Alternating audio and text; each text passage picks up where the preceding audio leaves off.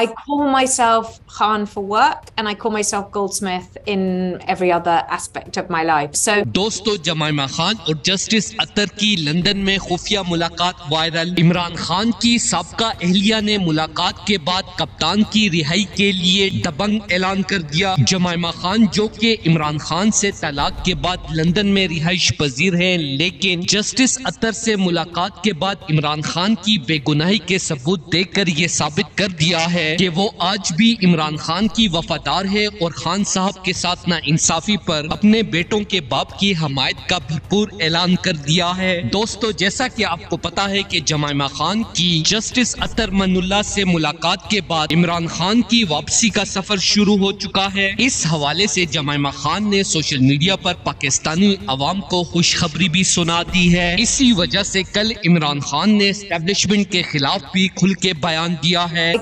Myself Khan for work and I call myself Goldsmith in raise the expectations uh, for any mere mortal that one might get. Uh, है क्या?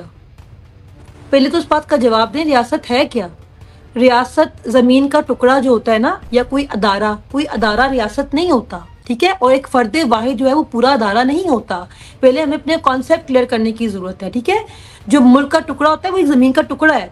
अवाम रियासत है। अवाम बनाती है मुल्क, ठीक है? दोस्तों, जैसा कि आपको पता है कि जमाइमा खान सियासत से बहुत दूर है, इसी वजह से इन्होंने पाकिस्तान से किनारा कशी भी की थी, मगर इनकी मोहब्बत हमेशा से पाकिस्तान और इमरान खान के साथ है। पाकिस्तान में जमहूरी अमल में मुदाखलत और आइन की खिलाफ वर्जी पर, इसके साथ साथ इंसानी हकूक की खिलाफ वर्जी पर मैं आलमी अदालत में केस दायर करने का ऐलान करती हूँ। जमाइमा खान ने मजीद कहा की इसके बाद शायद पाकिस्तान की अदलिया भी जाग सके और खान साहब के साथ इंसाफ कर सके जिसके बाद पाकिस्तान तहरीक इंसाफ ने भी जमाइमा खान के इस इकदाम का भरपूर हमायत का ऐलान कर दिया है raise the expectations uh, for any mere mortal that one might get uh, uh, into a relationship with.